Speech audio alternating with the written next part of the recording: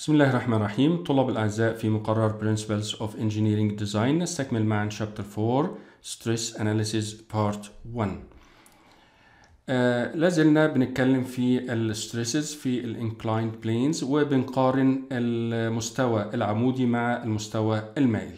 الخلاصة بأنه بيظهر عندي في حالة آه القطع بمستوى عمودي بالشكل ده كده عند الإي لاحظت ظهور sigma x بأقصى قيمة ولا وجود لل shear stress. في حالة المستوى المايل بزاوية ثيتا بالطبع بدأ يظهر عندي shear stress بياخد أقصى قيمة عند طبعا الزاوية 45 ثيتا بتساوي 45 مع وجود sigma x وبتقل بقيمة معينة.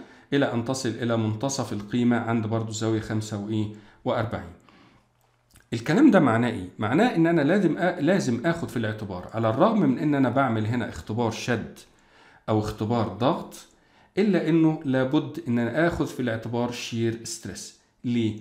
اللي حصل عندي هنا إن ده جزء من الخشب أو ال wood بيتعرض إلى compressive stress ناتج من ال compressive loads اللي عليه وبالتالي لقيت الانهيار هنا حصل تقريبا عند زاوية 45 درجة. معنى كده إن هو حصل عند ال shear stress رغم إن هو بيتعرض إلى compressive stress نفس الكلام بالنسبة للعينة من ال steel. هلاحظ إن ال failure بادئ يحصل عند مستوى الزاوية 45 معنى كده برضو إن هو بيحصل عند ال shear stress رغم إنه بيتعرض إلى tensile load بيسبب فيه tensile stress فلازم اخد في الاعتبار أيضا تحمل المادة إلى ال shear stress آه نيجي بعد كده نتكلم على أول نظرية من نظريات الانهيار المتعلقة بالتحميل الاستاتيكي اللي هي ال maximum principal stress theory عندنا نظريات كتيرة طبعا لكن هنركز على اتنين منهم.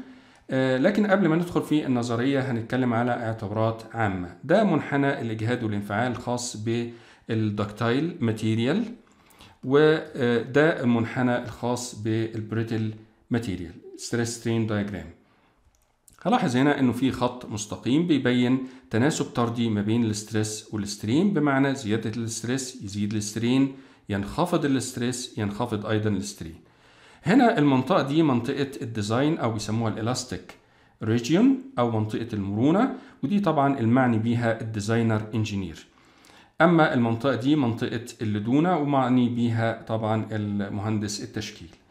ال brittle materials لا تظهر yield هنا زي المنطقة دي كده لكن أنا بشتقه عن طريق إن أنا آخد 0.2% من ال strain وبطلع بخط موازي لده إلى أن يتقاطع مع المنحنى بعد ما يحيد عن الاستقامة وبالتالي بحدد ال yield stress. الخلاصة إنه في ال ductile materials الحدود بتاعتي اللي هي sigma yield اجهاد الخضوع وال brittle materials حدودي هنا اللي هي sigma ultimate أو أقصى اجهاد بيتحمله المعدن. نكتفي بهذا القدر ونستكمل في الدرس القادم إن شاء الله.